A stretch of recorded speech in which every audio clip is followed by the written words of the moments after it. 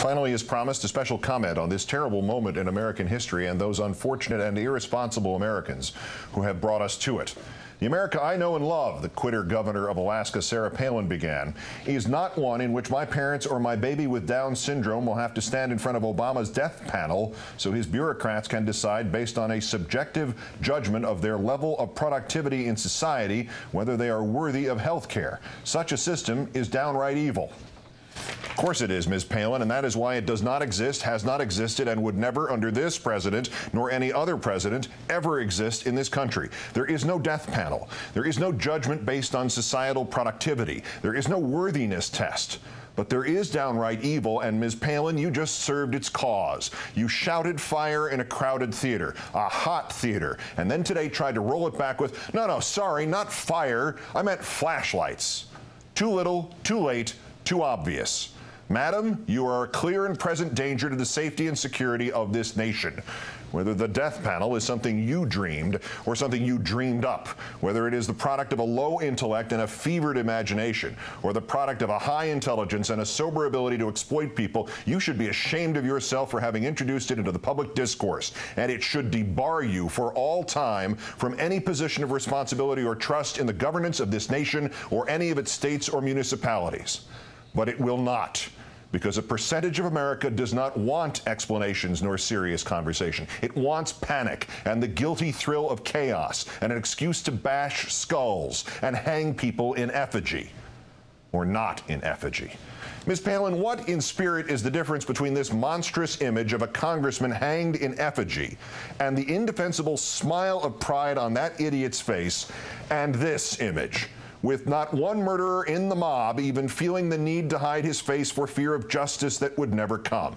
They are both, to use your phrase, death panels. Ms. Palin, you might as well have declared that the government is being run by a coven of witches with fake Kenyan birth certificates.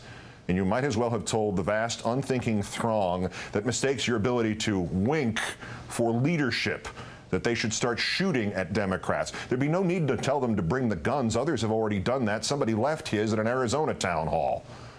And incidentally, madam, you have also forfeited your right to be taken seriously.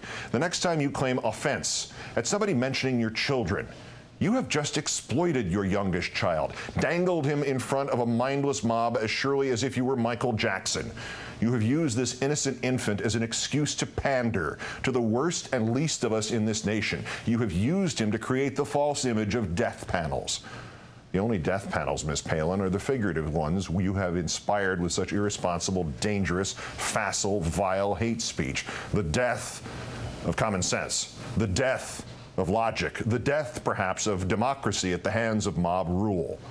If someone is hurt in one of these town halls, pro reform, anti reform, or most likely, as these things tend to play out in the real life you know so little about, Ms. Palin, if the hurt befalls an innocent bystander, you will have contributed to that harm. You might very well become, Ms. Palin, the very thing you have sought to create in the lurid imaginations of those spoiling for a fight, waiting for an excuse, looking for a rationalization of their own hatred, their own racism, their own unwillingness to accept democracy. You, Ms. Palin, may yet become the de facto chairman of a death panel. Your higher calling, Ms. Palin. God forgive you, Ms. Palin. It is hardly all Sarah Palin. She is, in fact, a relative newcomer to the orgy of fantasized violence and imagined revolution whose fires have been stoked for weeks, for months, for years by conservatives, but more often by mere mercenaries, men and women who believe nothing who are in it for the gain or the profit or the sheer kick of bending masses to their will. Glenn Beck, who recoils when somebody actually readies for an attack on one of the FEMA internment camps he so cavalierly invented, who so cowers at the thought that he might get blamed or might lose some of his precious and well earned gold that he actually has to plead with his viewers not to become new Timothy McVeighs. Glenn Beck says that, and then comes back three days later and jokes about poisoning the Speaker of the House. It is irresistible to you, isn't it? It's the same thrill of irresponsibility, of caveman thought, of the drug addict who suddenly and joyously cares nothing about self restraint. Sobered momentarily into realizing the prospective outline of the horrible shape at the horizon. Soldiers wounded, shooter says she was liberating, FEMA camp says she saw Glenn Beck tell her to rise up and fight back. Awakened to the idea that words you say on television have consequences which you cannot necessarily control, you plead, you almost cry for nonviolence. And yet, within 72 hours, the thrill again rises up in your blood and you cannot resist it. You must fantasize about murder. And by the very action of speaking it aloud, you enable others to join you in this Neanderthalian ritual of violence to overcome the enemy. Whether the enemy is real or imagined, or whether the enemy really isn't an enemy at all and it's just your neighbor with a different point of view who wants to talk about it, wants to involve you in the decision, even though it is his turn to steer and not yours, and even though you both know that someday our system will give you another turn to steer. But ranting and crying and playing with toys on television does not work if you are advocating compromise and dialogue and thought. It works only for a mountebank, making the promise of magic and power with the underlying inherent threat of carnage and chaos. And now you add, you believe death panels are real. An idea so insane, which mainlines so directly back to the mercenary fantasies of the pathetic Betsy McCaughey, that even Sarah Palin backed quickly away from them. But what a scare tactic. The big lie in the flesh. Your dream come true. Which is probably why, Mr. Beck, we have not lately heard much of your 912 groups, because there you had the germ of an idea, exploitative perhaps, but at its core, beneficial, calming, unifying, thoughtful, restore the sense of September 12, 2001, not of dread or threat, but of collaboration, of meeting in the middle somewhere, of standing together under one flag and trying to improve the conditions of all Americans. And then somebody from your 912 group told its members they should all go to the healthcare reform town hall in Tampa and break it up and shout down anybody who disagreed with them and scuffle with the police and demand not discourse but disaster. Your work, Mr. Beck, your contribution to this. God forgive you. There are other instigators free in the land, nearly all of them, in effect, untrue believers, men intelligent enough to work their way up the political ladder in this country into the Senate of this nation, and yet suddenly foolish enough, or suddenly opportunistic enough, like Mr. Cornyn of Texas, to float conspiracy theories about the White House using health care reform to try to compile an enemies list, one email address at a time. When four years ago, this same senator was saying that the previous White House's pernicious, warrantless, illegal consumption of everybody's email address and everybody's email and everybody's websites, that was de defensible and justifiable because, quote, none of your civil liberties matter much after you're dead. And now pushing is Mr. Cornyn, the supposedly independent analysis of the proposed health care reform by the Lewin Group, that 119 million people would have to change their insurance. Mr. Cornyn not knowing, or being paid not to know, that the Lewin Group is wholly owned by an insurance company.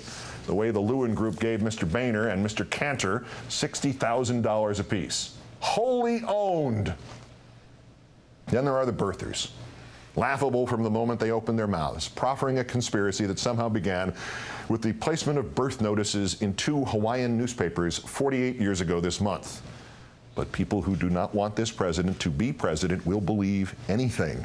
And that is meat for fading commentators like Lou Dobbs, whatever he actually believes, because the birther movement touches another essential part of the defective soul, the need for an excuse. For they need to convince themselves of an immense conspiracy, and place that conviction as a barrier between their actions and the sad reality that they are not the victims of intricate machinations against freedom, but that they are just garden variety, ordinary racists that they can handle the most limited of integration only in theory. It will take anything that will let them pretend that when they burst into tears and cry that they want their America back, they are not asking for white power, not asking that somebody make the black man in the White House go away. There are other instigators, of course, so obvious, so careless, knowing so well that anybody who desperately wants to believe lies will not even notice the truth standing next to them wearing a big red neon sign like the just a mom from a few blocks away at the Wisconsin town hall who didn't think anybody might Google her name and find out she was really the ex-vice chairman of the county GOP and part of the campaign of the Republican who lost to the Democrat whose town hall she was at that moment helping to disrupt. Or like the smooth talking hospital corporate titan, spreading millions around to enable the hate, knowing that none of the haters will ever realize nor care that they have become prostitutes for the healthcare industries. Like the people who propagated this widely cut and pasted, quote, line by line analysis of the Health Care Reform Act, one that saves right wingers the trouble of actually reading the bill or thinking about it. This is where the fictions come from that this is funding ACORN, that it guarantees free health care for illegal immigrants, that it mandates abortions, demands euthanasia. If you read it without knowing the truth, you might shove the right wingers out of the way at the town halls and start screaming yourself. It seems to have been created by the Liberty Counsel, an offshoot of Jerry Falwell's Liberty University, a council whose other big policy concern has been the attack on Christmas. And maybe there is the most brazen of them all, that man at the town hall in Connecticut wearing the We Don't Want Government Run Health Care sign above his head while wearing his Anthem Blue Cross and Blue Shield shirt. You might think it was because he was too stupid to wear something a little less corporately slavish, but given what those around him have read, they not only wouldn't care, they might even take comfort from that logo that he could boast and that they could hate under the auspices of an actual caring, friendly, ruthless insurance company. My words, of course, are nothing to Mr. Anthem or Mr. Cornyn or Mr. Dobbs or Ms. Blish or Mr. Scott or the others. This is a job to them. And since we have placed a price tag on everything in this country, there is no soul searching involved. You have a job. If it involves stirring up frightened people to defend the corporation against the citizen, well, you have a salary to earn and a family to feed. The same rationalization that enables mob hitmen to sleep at night. But somewhere in those crowds are genuinely angry and scared people. People who listen to Cornyn or Dobbs or fantasize with Beck about poisoning their way to a Democrat free world, or who salivate like Pavlovian dogs at the sound of the shrill whistle from Sarah De Death Panel Palin. Somewhere in those crowds are some actual people with some actual brains still working and thinking and evaluating. For God's sakes, trust your instinct to think.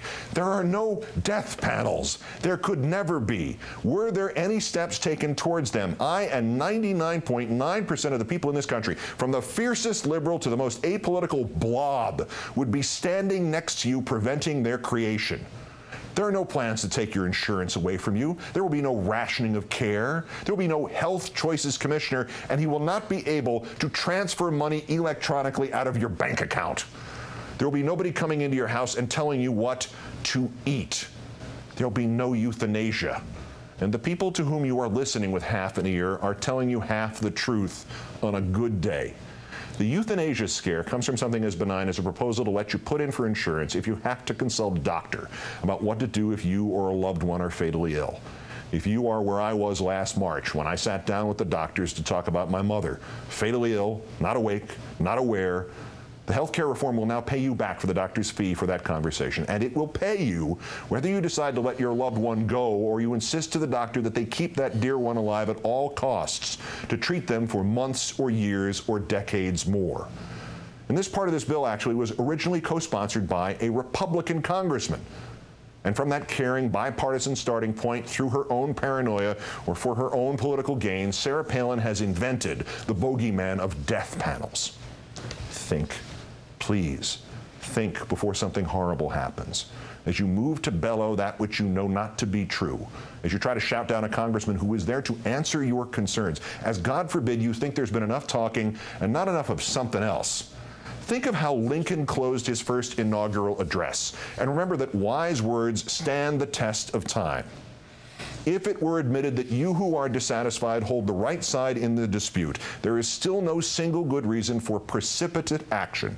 Intelligence, patriotism, Christianity, and a firm reliance on Him who has never yet forsaken this favored land are still competent to adjust, in the best way, all our present difficulty. In your hands, my dissatisfied fellow countrymen, and not in mine, is this momentous issue. The government will not assail you. You can have no conflict without being you yourselves the aggressors. We are not enemies but friends. We must not be enemies. Though passion may have strained, it must not break our bonds of affection. The mystic cords of memory, stretching from every battlefield and patriot grave to every living heart and hearthstone all over this broad land, will yet swell the chorus of the Union when again touched as surely they will be by the better angels of our nature.